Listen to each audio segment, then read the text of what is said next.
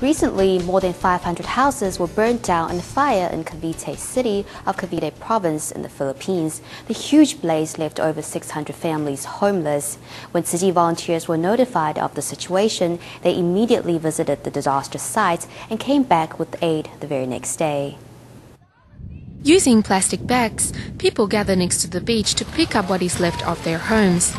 Here at the Cavite City in the Philippines, a major fire burned down Barangay 5 and 7 of the Dalahican suburb.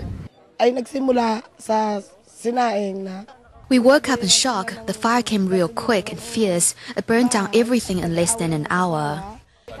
The first fire to hit the community spread quickly, fanned by the sea breeze. Over 500 houses were completely destroyed, leaving approximately 600 families homeless. Tzu volunteers arrived to assess the situation. Early next day, volunteers come to distribute aid.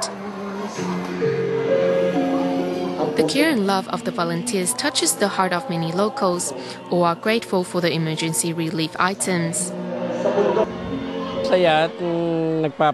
I'm really happy and grateful. You're really a big help.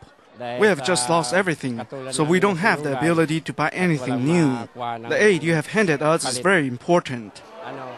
Preparing the aid according to the needs of the residents, items include blankets, food, and daily necessities. With temporary relief, the victims are on their way to the road of recovery.